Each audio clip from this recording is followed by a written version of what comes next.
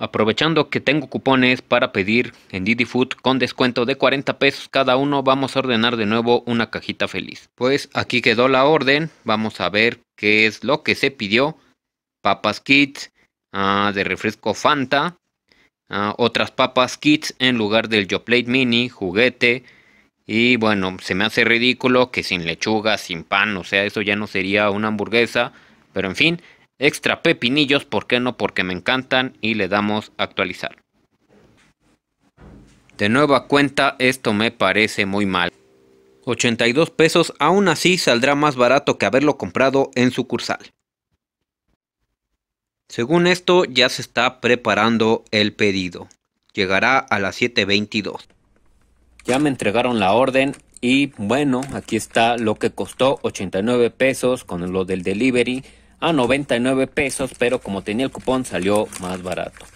Y empiezo a creer que no fue buena idea pedirlo en Didi Food porque ahorita están dando cartón y probablemente el refresco haya mojado el juguete y ya saben que algo de papel o cartón en este caso se arruina con el agua. Pero tuve suerte un juguete nuevo y no está manchado ni mojado. Tenemos a Ramón, mejor conocido como Branch, es el juguete de carrera o en inglés home run. Aquí está, luce muy bien, está muy bonito, así que ahora sí puedo decir que salió bien pidiendo la cajita feliz de Didi Food, pero no hay que cantar victoria.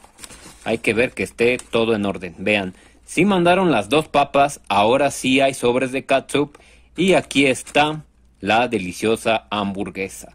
Pues ya que ustedes muchas veces se quedan con la duda de cómo llegaron las cosas, hablando de la comida, yo siempre me enfoco en el juguete.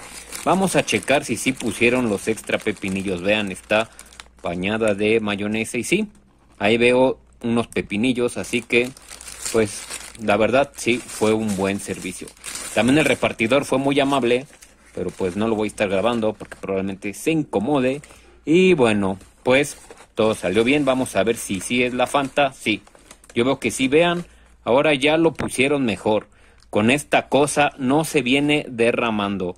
Qué bueno que McDonald's ya va aprendiendo de sus errores, porque cuando lo envolvían con ese plástico solía caerse muy fácilmente. Así que todo salió bien y para el que quiera verlo aquí está de nuevo la funda mágica que no se esté en este video pero sigue apareciendo.